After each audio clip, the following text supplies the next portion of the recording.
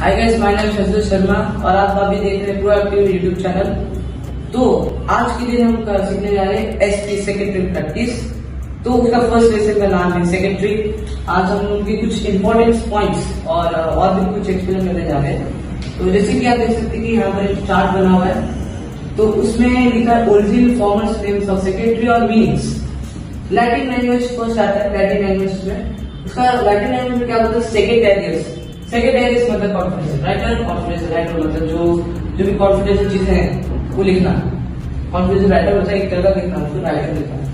Roman empire Roman empire scribe E silent है scribe scribe वो एक तरह प्रोफेशनल लेटर राइटर होता है, जैसे कि किसी बिजनेसमैन को हम लोग को लेटर देना हो, और कुछ भी लिखना हो तो फिर बिजनेसमैन को दे सकती है, वो स्क्राइब होती है।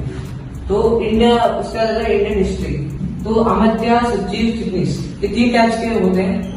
सर नाम तो एक ही है नाम तो अलग अलग है बट सबका मीनिंग एक ही है। सब क्या करते हैं? एक सेक्रेटरी वर्क मतलब सेक्रेटरी वर्क जो जो भी सेक्रेटरी वर्क करते हैं, जैसे कि अलग अलग डिपार्टमेंट से सारे इन्फॉर्मेशन लेके एक अपने बॉस को बताना। बस फीचर्स ऑफ़ सेक्रेटरी क्या क्या है? इंडिविजुअल्स इंडिविजुअल बहुत मेन चीज़ होती है एक सेक्रेटरी के लिए।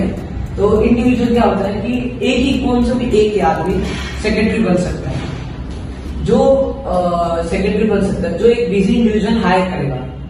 कौन सा भी एक सेक्रेटरी बन सकता है, जो बिज़ी इंडिविजुअल हायर करेगा। और ड्यूटीज़ ड्यूटीज़ क्या क्या इसके? ड्यूटीज़ है, जैसे कि सबसे सबसे ज़्यादा मतलब सबसे ज़्यादा तो वही बात करती है।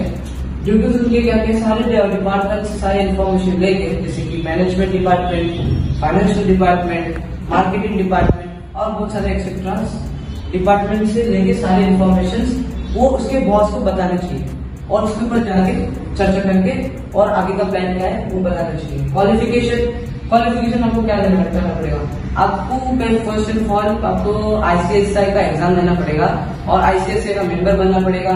तो आईसीएसआई का मेंबर बनने के बाद तभी जाके आप एक क्वालिफाइड पर्सन बनते हो एक कंपनी का सेक्रेटरी बनने के लिए। फिर उसके बाद अपॉइंटमेंट अपॉइंटमेंट मतलब जैसे कि एच आर बहुत सारे बिज़नेस एम्प्लॉय लोग, उनके साथ मीटिंग कब रखना है, कैसे रखना है, किस टाइम पे रखना है तो वो सारे सेक्रेटरी डिसाइड करती कि इस टाइम पे तुम्हें रखना है, इस टाइम पे ये है, वो है। और अपॉइंटमेंट उसी कहते हैं पेड एम्प्लॉय पेड एम्प्लॉय वो होता है मतलब जैसे कि आप सेक्रेटरी को पेड एम्प्लॉय बोल सकते हो एक तरह का, क्योंकि उसको काम करने के बदले उसको पैसा मिल रहा है।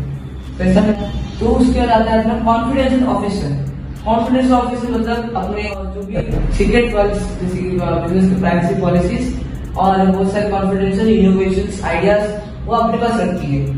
और फिर उसके है रिप्रेजेंटेटिव जैसे कि कोई कुछ उसको अर्जेंट वर्क आ गया फिर उसको कुछ वो ऐसा हो गया तो फिर उसका सीएस मतलब कंपनी सेक्रेटरी सेक्रेटरी जाके वो अपॉइंटमेंट है अपॉइंटमेंट जाके उसकी जगह अटेंड करेगा।